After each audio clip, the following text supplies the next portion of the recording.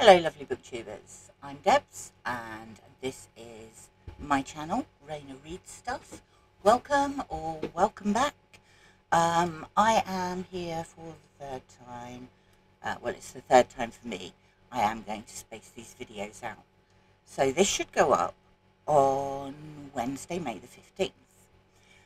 And that is midway through March, which means I'm thinking about June already. This is an announcement video for a new event that has been put together, I'm going to say this twice, by Mark at Book Time with Elvis and Steve Donoghue and by Steve Donoghue and by Mark at Book Time with Elvis. They're arguing over who should go first, so I thought I'd do it twice. Um, and a load of other co-hosts, including me. And it is Summer of Sport. We are building up to the Olympics, lovely people. I'll probably take two weeks doing nothing other than watch the Olympics this year. But this summer, why not read some sport? And it can be anything. It can be biographies, it can be factual books, it can be fiction, it can be children's books. Um, recently, I did a tag video when I said I preferred to read arts biographies than sports biographies. But a leopard can change its spots, or can it? Anyway, I have a pile of possibilities here that cover all sorts of things. So let's start with the largest one, because then it goes on the bottom of the pile when I start repiling them. Uh, this is more than a game. Now, it sounds as though it's about football, but when you see the cover photo, it's obviously not. This is by Jan Stradling, and it is a history book that looks at when sport has had some sort of historical um, impact. So in here, we have several different chapters. Uh, Pride and Prejudice is the first chapter, and that starts with called the First Eleven, and it's an Aboriginal cricket team in Australia, the first Aboriginal cricket team um, that came to England in 1868. Um, we also have in there Jesse Owens at the 1936 Olympics in, in Germany, where Adolf Hitler was trying to preach Aryan supremacy, and a black American was winning four gold medals. Uh, we have part two is waving the flag, and we have ping pong diplomacy,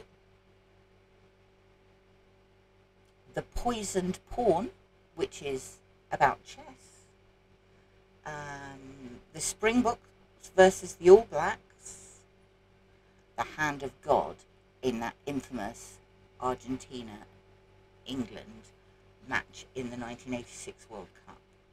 We have football and bullets. Uh, we have gender and sport. So there we have Emily Davison and uh, Derby Day. Um, we also have Billie Jean King. Um, and then part five is an unsporting advantage. And we have the Bodyline series, Cricket, England v Australia, uh, in 1932. We have Underhand Tactics, Australia v New Zealand, um, and the drug scandal at the Seoul Olympics. So that looks like good fun. It's highly illustrated and very general.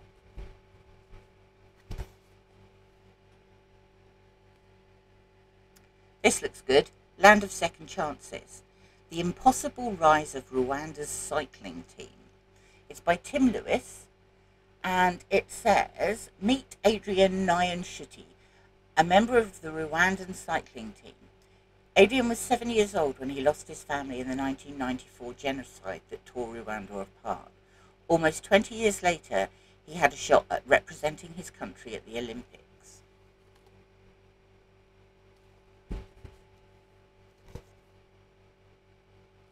This is a soccer war by Richard Kapuscinski. Um, Kapuscinski was a Polish, uh, is Polish, he was a Polish um, journalist. He's been around the world covering all sorts of things. Not all of these stories in here are about sport,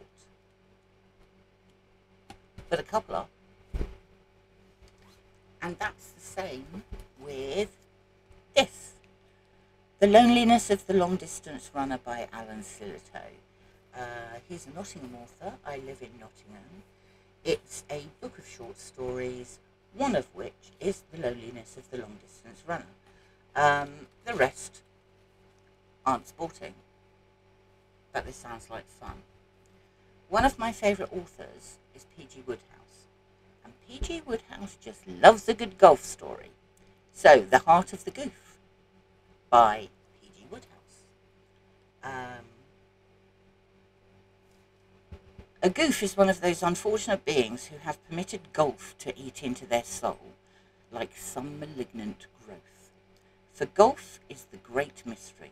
It bestows its favours with what would appear an almost fat-headed lack of method and discrimination. I love P.G. Wodehouse. I also found on my shelves this featherweight. And this is about a bare knuckle boxer. Again, it's fishing. It's fishing. Fiction is what I'm trying to say. Fiction. Then I have some factual books. Might not look factual, but it is. Penguin Stopped to Play. This is this is a book about a cricket team playing cricket in a variety of ridiculous locations. I'm not a big cricket lover. I don't understand cricket. A sports editor once tried to explain the rules of cricket to me, and I completely lost interest when he started talking about winning draws and losing draws because that's just ridiculous. I can understand a draw. That I get. A winning draw and a losing draw. I don't get that. I don't want to get that. But I will read that. Then I've got some... Uh, I didn't want to go all women's sport. Because... Uh, eh, I love women's sport. But I have got this. This is called The Savage Mountain. And no, it's not. It's called Savage Summit. It's by Jennifer Jordan. And this is about the Savage Mountain, which is K2, which is not as tall as Everest, uh, but is apparently an unbelievably difficult climb. So it's far more dangerous, and this is about six women who scaled K2. I mean, it says here 90 women have scaled Everest, but of the six women who reached the summit of K2, three lost their lives on the way back down and two have since died on other climbs. Um, that's not a good record. Jennifer Jordan apparently lived at the base of K2 while she was writing and researching this. But uh, I think mountaineering counts as sport. And this one Gordon Bennett and the First Yacht Race Across the Atlantic by Sam Jefferson. This looks good. Um, we're in 1866 and uh, the ship, the, uh, the yacht, the Henrietta, and two other yachts are racing out of New York Harbour and they are bound for England on the whim of gentleman's honour death or glory. I've got a few more coming as well. Only the uh, online bookshop, the second-hand shop that I ordered them from, sent rather than send the two sports books I, I ordered, sent two Stephen King and a Susan Hill book instead, which mm, not the same. Um, but I've ordered Touching the Void and also a book called My Father and Other Working Class Football Heroes. Hopefully they'll come. Who knows? I've contacted them and said, Oi, I don't want Stephen King, I want some sports books. Uh, but there's plenty for me to be getting on with.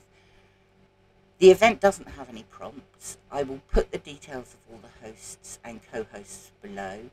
Uh, basically, spend a couple of months between June and August reading some sports books. It could be baseball, it could be table tennis, it could be snooker, it could be kayaking, it could be long distance running, cycling, you name it, whatever you, you fancy give it a go. It'll be fun. Thanks for watching. Let me know if you're going to join in. Um, if you've got any other suggestions for books that I might like, drop them in the comments below. Thanks for popping by. I'll speak to you soon. Bye for now.